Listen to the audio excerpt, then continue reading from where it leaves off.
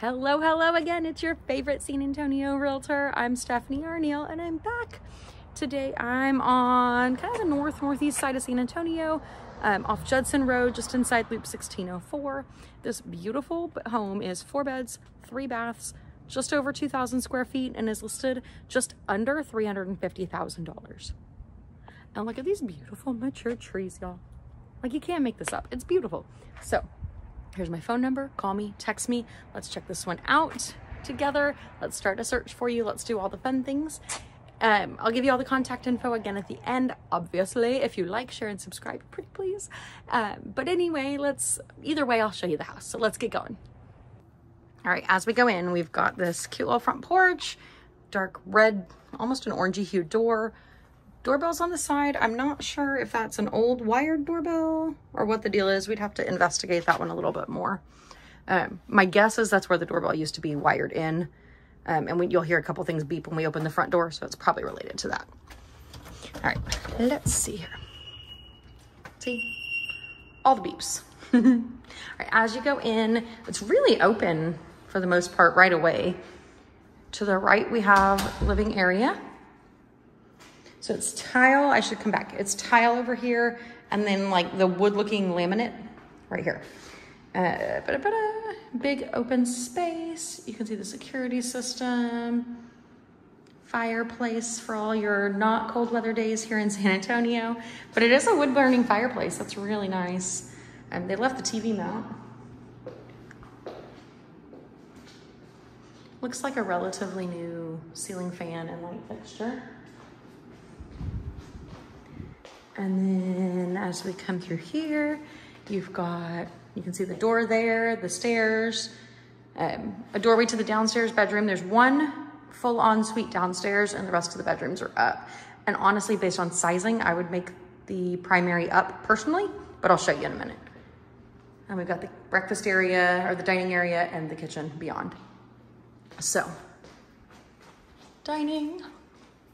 We'll go outside in a bit, I promise. I am in love with this look of the kitchen. So we've got granite countertops and it's got the two level for the bar. You could line up, honestly, four or five bar stools there pretty easily. Maybe even six, it's a long space. And then next to the refrigerator, you've got some built-in pantry space. Lots of white cabinets, stainless steel appliances, uh, a good deep kitchen sink with the window right above to the backyard. I mean, it is kind of a galley. It's open floor plan and then kind of becomes, you could tell it was always like an, originally a galley kitchen. Um, and so you've got your electric range. They do have more shelving over here for storage, which I would think is probably what the initial pantry was, but they've added those other cabinets. And then you can tell they did some patchwork at some point to the ceiling because the paint's a different color. But an inspector can tell us and make sure there's nothing going on. It just looks like dried paint. It doesn't look wet or anything. Cabinets. And they did the cool little tile, backlit tile. Ooh. See, this is above cabinet lighting like I hope. It is. Y'all, they already have over cabinet lights installed. You could run an, a plug probably up and hide that cord, but it's fun. All right, and then here's the garage. Two car garage. It's a really deep garage. Only one side has a garage door opener. Um, I don't see a sprinkler system. Your electrical panel's right here though. Attic access, and I don't have a ladder with me, but that's the attic access. And then there's some built-in shelves and your washer and dryer hookups are out here right in the garage. And then your water heater is right here. That water heater is from, I don't know when. It looks relatively new, but honestly, I don't see a date on it. Uh, based on the serial number though, our inspector can look it up exactly and find out. So there's ways to find out, I promise. Okay. More beeping probably.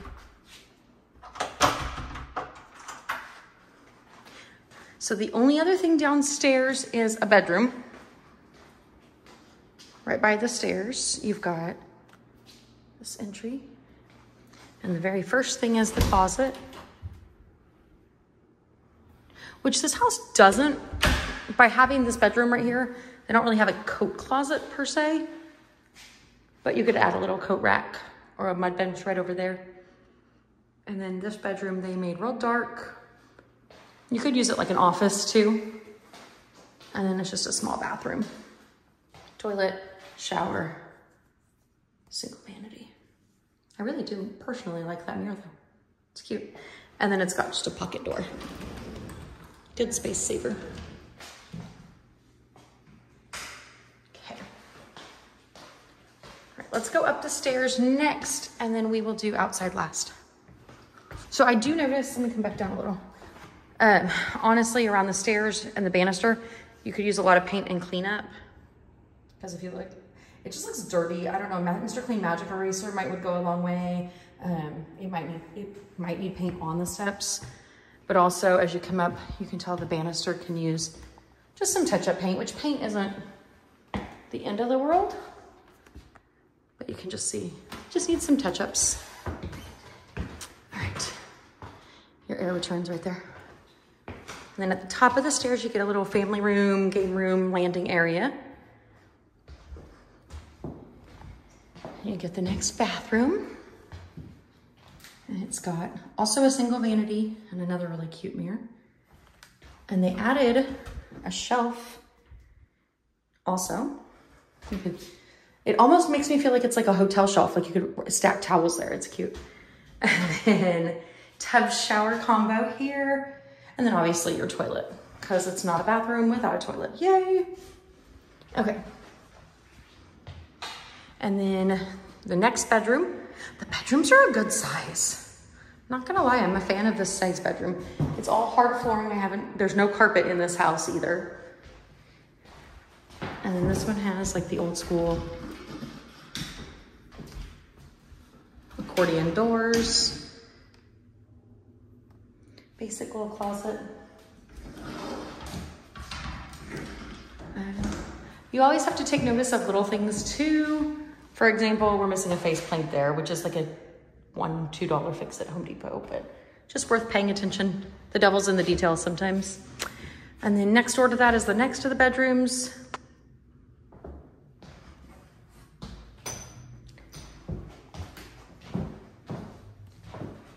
And then it has a similar closet to the last one and a view of the backyard.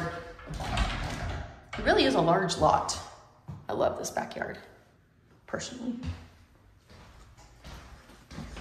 Okay, let's go across because we have one more bedroom. So here is what I consider to be the true primary suite, um, just based on size. It's a huge bedroom. I can show you from this corner opposite the door. So it's definitely a bigger bedroom. We've got the closet on the left, the bathroom on the right. It's not a huge bathroom space, but check out the closet. So it's a deep walk-in closet with another attic access. And still, the thing I notice is just the paint. It needs touch-ups, it needs holes filled, it needs touch-up paint and cleaning, um, which again is not huge. It's just worth noting when you're looking at houses. And then here's the primary bathroom. They did double vanity, but separate vanities in here. And that's a mirror. There's a little, um, bath, uh, listen to me, window for ventilation. Obviously your toilet. Oh. And then, well, that got loud. I turned on the light to the shower and it, the vent came on. It's a nice walk-in shower. And then they added a cabinet over on that side with hooks to hang your towels and all the things. All right, let's go back downstairs and get the backyard scoped out here. All right, as we go out this sliding door, more of the beeping. Huge backyard, y'all. Lots of mature trees. The fence looks like it's in decent shape. You can tell where it's been repaired over on that side because some of the planks look, wood planks look different. Um, but generally it's all, you know, upright. I don't see any big holes. Seems to be in pretty good shape. Over on this side, we've got the AC unit and another tree.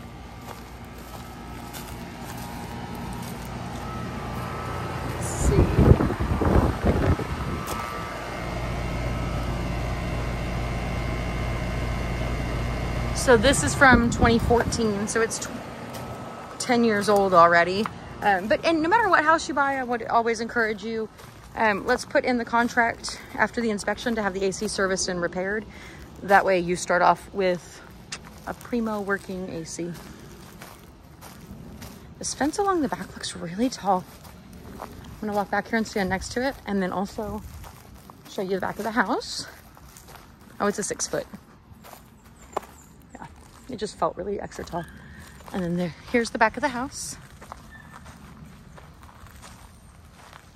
And then there's a shed, which is locked, and I don't have that key. You have a utility box. That's the utilities right there. Had a little garden, it looks like. And then over on this side, I've been looking at several houses. This might be the one where the roof is like three years old, um, but it, it looks like it's in great shape.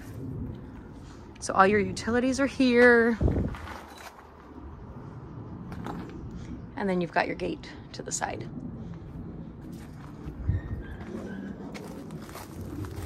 Just a little wood decking.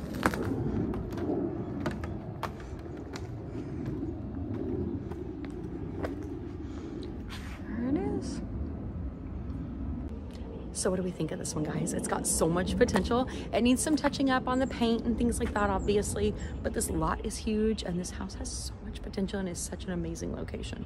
So call me, text me, let me know what you think.